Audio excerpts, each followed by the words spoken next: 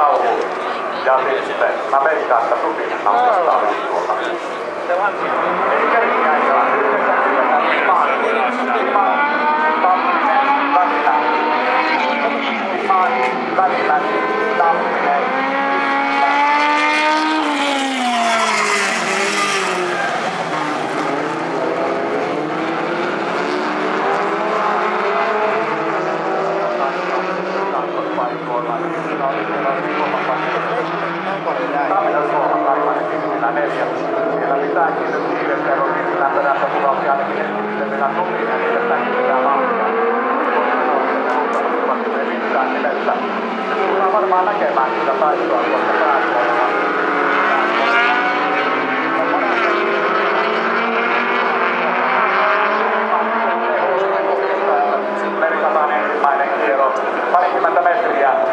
Vimanen kälkessä kasvot paikallaan. Välimäki. Tamminen edelleen kolmantena.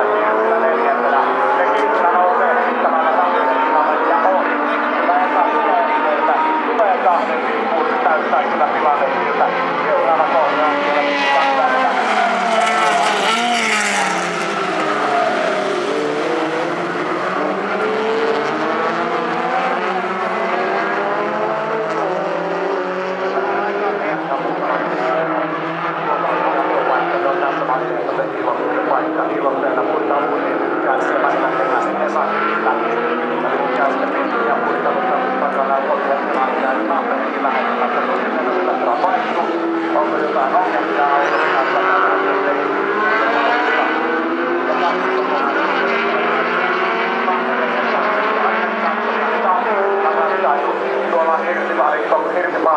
Kaarteessa ulkoa yrittää leikata sitten siihen sisälle ja saada välimäen tuonne ulkopuolelle. Tuota ideaa haetaan.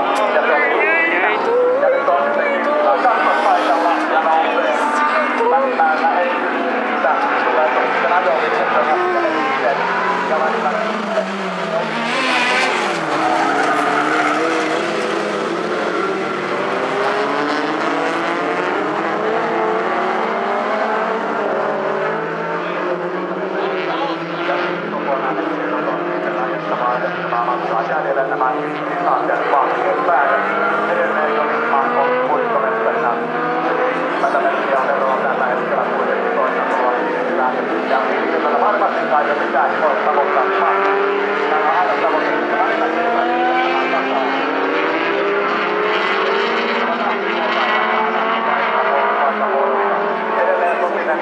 Tamminen viidentenä, Veikanmaa kuudentena, Ketomäki seitsemäntenä. Ja viimeistä kertaa ladataan jälleen tuolta pään suoraan. 100